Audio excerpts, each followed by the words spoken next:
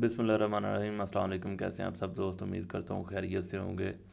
आज का हमारा लेक्चर जो एलएलबी के पास पेपर के हवाले से है। LLB three year part third और LLB five year part fifth मतलब फाइनल ईयर के हवाले से जो सब्जेक्ट है वो कानून शहादत आर्डर है नाइनटी एट्टी फोर है। आज के लेक्चर में हमने मोस्ट रिपीटेड सवाल, वो आइडेंटिफाई करने कौन कौन से जो रिपीटेड सवाल हैं, जो हम कर, करें और क्योंकि अभी बिल्कुल टाइम शॉर्ट है। और थोड़े टाइम में हम वो सवाल करके पेपर अटैम्प्ट कर सकें। तो जो पहला पेपर हमारे सामने, आज हमने तकरीबन पाँच सालों के पेपर कलेक्ट किए हैं, जिसमें एनुअल भी हैं और सप्लीमेंट्री भी हैं।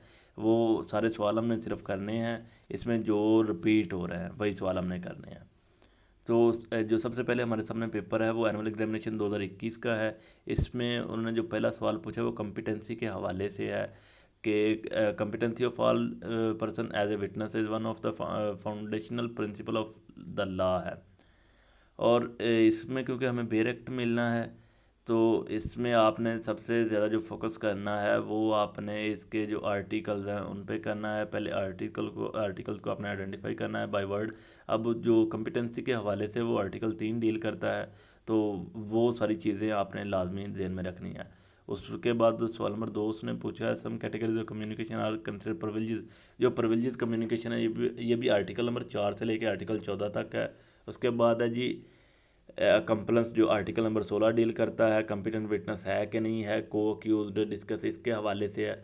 और जो सवाल नंबर चार है डिफाइन कन्फेशन के हवाले से है। जो आर्टिकल नंबर सैंतीस है और उसके बाद जी सवाल नंबर पाँच discuss the law dealing with the facts not otherwise relevant become relevant के हवाले से कि कब फैक्ट्स इरेलीवेंट फैक्टर रेलिवेंट बनते हैं। ये जी है वो हमारा जो सवाल जब कोई अक्यूज वहाँ प्ली ऑफ़ एलिबाई के हवाले से है। सवाल नंबर जो पाँच है। ये जब इरेलीवेंट फैक्टर रेलिवेंट बनते हैं। सवाल नंबर छः है जी judicial notice discuss circumstances court में रिजॉर्ट जुडिशल नोटिस है। और उसके बाद जी define oral evidence correlating one over reaching principle of evidence है। ये जी आर्टिकल सेवेंटी थ्री के हवाले से है।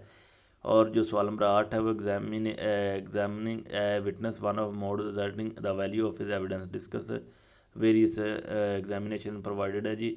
इसमें जो उसने चीफ uh, है चीफ के बाद क्रॉस है या री एग्जामिनेशन है ये सारी चीज़ें इसमें डिस्कस की हुई हैं। दूसरा जो पार्ट उसमें एक सवाल करना है लीगल एथिक्स के हवाले discuss right and duties of the advocate है। और उसके बाद जी सवाल नंबर जो टेन है दस है आखिरी सवाल है advocate except not to share communication made to is client है इसके हवाले से है। ये पेपर हमारे पास 2021 का है और इससे आगे जो 2020 का हम पेपर देखेंगे, जो 2020 का पेपर है जी, सत्रह सोलह पंद्रह है 2020 का ये पेपर है। अब 2020 का देखिए जी, पहला सवाल उसने पूछा, discuss the relevant provision of relating to competency same question है कम्पिटेंसी ऑफ़ विटन्स के हवाले से है, लेकिन इसमें उसने सिविल और क्रिमिनल लेबिलिटीज़ के हवाले से पूछ लिया है। नंबर ऑफ़ विटनेसेस जो आर्टिकल सत्रह और इसके साथ उसने आर्टिकल तीन और सत्रह, दोनों उसने पूछ लिए हैं। उसके बाद ये सवाल नंबर दो है कंसेप्ट ऑफ़ द एडमिशन और कन्फेशन ये हमने पीछे भी पीछे भी रिपीट था और अब भी है। उसके बाद सवाल नंबर चार अंडरस्टैंड कंसेप्ट ऑफ़ स्टॉपल है। स्टॉपल के हवाले से है। ये एडमिशन वाला बेसिकल सवाल है, जब एडमिशन होगा, तब स्टॉपल लग जाएगा और उसके बाद ये legal provision relevancy of judgment है ऑर्डर है, उसके बाद ये what importance expert opinion evidence है। एक्सपर्ट की ओपिनियन कब कब रेलिवेंट होगी? उसके बाद ये सवाल नंबर छः discuss legal provision about primary and secondary document है। ये ये आर्टिकल तकरीबन है सेवेंटी थ्री और सेवेंटी फोर है। उसके बाद जी सवाल नंबर सात है Q S led on the for थर्टिंग the burden of proof के हवाले से है कि बर्डन ऑफ़ प्रूफ किस पे होगा, किसने साबित करना है। उसके बाद सवाल नंबर आठ है जी explain various modes of examination ये सेम सवाल ये भी रिपीटेड है, पिछले पेपर में दो हज़ार इक्कीस में भी था और बीस में भी है कि मोड्स ऑफ़ और उसके बाद दूसरा जो लीगल एथिक्स वाला है, उसने प्रोफेशनल एडवोकेट के हवाले से है और जो लास्ट है कैन नॉट डिस्क्लोज बिफोर कि जो कॉन्फिडेंशियल उसकी इन्फॉर्मेशन होती है, वो डिस्क्लोज नहीं कर सकता, इस हवाले से है। ये 2020 का पेपर था और अभी अगर हम 2019 का पेपर देखें जी 2019 का ये सप्लीमेंट्री का पेपर है, इसमें उसने डिस्कस किया हुआ है, पहला जो सवाल है, ये भी कम्पिटेंसी के सेम मतलब पहले जो सवाल है वो तो रिपीटेड ही ना। उसके बाद रेस्केस्टे और important place evidence despite except exception exclusion of hearsay evidence rule है discuss law about relevancy explain probative worth के हवाले से है। वट मीट आइडेंटिफिकेशन परेड है आर्टिकल नंबर बाईस है, इसके हवाले से है। और उसके बाद जो है जी सवाल नंबर चार है एडमिशन एंड कन्फेशन के हवाले से है। लीगल प्रोविज़न रिलेवेंट जजमेंट के हवाले से सवाल नंबर पाँच सवाल नंबर छः जो है character evidence parties after not admitted discuss provision which not exception to this principle है। ये करेक्टर के one relevancy of the character है, ये इस हवाले से है, सवाल नंबर सात है, जो legal provision about primary and secondary article तिहत्तर और चौहत्तर के हवाले से है। उसके बाद जी हॉस्टाइल विटनेस है, ये वन फिफ्टी है, कि जब विटनेस अपनी स्टेटमेंट से मुकर जाए वो अपने मतलब जो कॉलिंग पार्टी है, उसके ख़िलाफ़ चला जाए, तब कॉलिंग पार्टी उस पर क्रॉस कर सकती है। आर्टिकल नंबर जो वन फिफ्टी एट से डील करता है, सवाल नंबर आठ है, और उसके बाद जो दूसरे दो हैं, वो सेम ही हैं। उसमें आपने सिर्फ़ एक चीज़ ही करनी जो ज़्यादा इंपॉर्टेंट है कि एडवोकेट की ड्यूटीज़ क्या हैं और दूसरी जो वो उसकी क्लाइंट के हवाले से कौन सी ड्यूटीज़ है।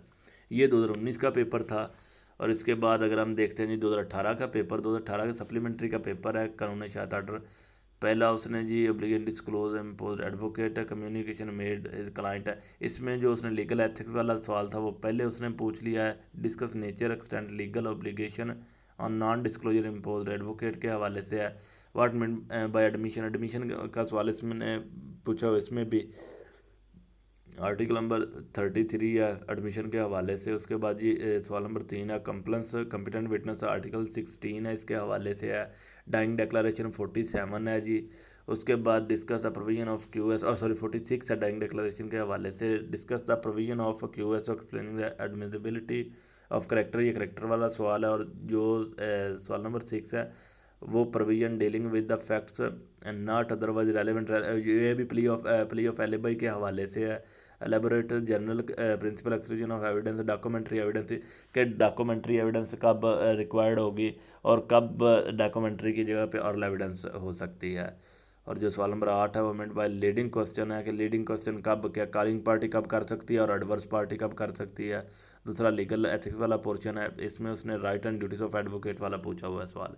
ये दो हज़ार अठारह का पेपर था और इसी तरह जी 2017 का पेपर है, कानून शायद पहला जो सवाल उसने पूछा है, वो नॉन डिस्क्लोज एडवोकेट है एडमिशन और कन्फेशन के हवाले से आइडेंटिफिकेशन परेड है। 2016 का पेपर है हमारे पास। 2016 में उसने भी competency of the witness competent to testify how many witness required various legal proceeding है। ये इसमें जो आर्टिकल सत्रह है, वो डील ऐसे डील करता है। उसके बाद कन्फेशन और एडमिशन का उसने पूछा हुआ है।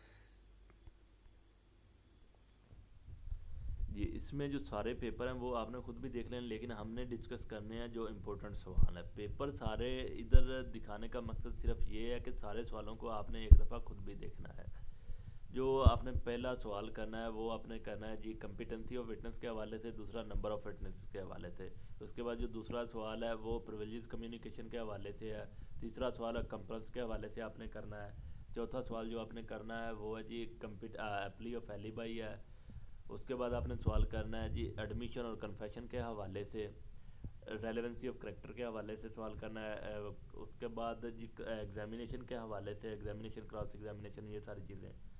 और ये जो मोस्ट रिपीटेड सवाल हैं, ये वो वाले हैं, ये आपने करने हैं, ये इक्कीस का पेपर है, आपके सामने उन्नीस का है, और उसके बाद अट्ठारह का पेपर है।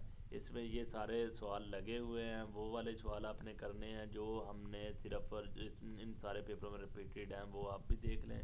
हमने मज़ीद डिस्कस कर दिए जो लीगल एथिक्स के हवाले से है, वो भी सिर्फ़ दो सवाल रिपीटेड है। पहला जो ड्यूटीज़ ऑफ़ एडवोकेट के हवाले से लीगल सिस्टम तो और दूसरा जो है कि उस क्लाइंट के हवाले से कौन कौन सी ड्यूटीज़ हैं।